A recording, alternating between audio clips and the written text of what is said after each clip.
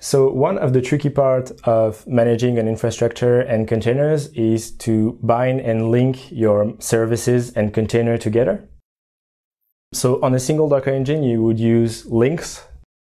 But what you can do on the Swarm cluster is spanning a network that will scatter across your engines.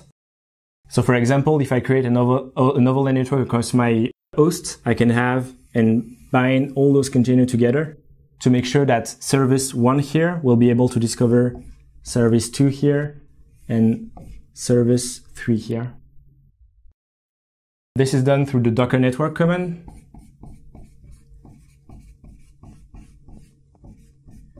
And you can create a network of type overlay,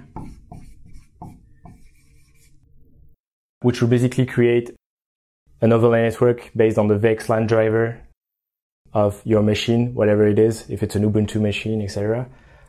You need to use a minimum kernel version, but if you have the right setup, you can now seamlessly link your container together across hosts without using any specific kind of dash dash link that you would use on a single Docker engine.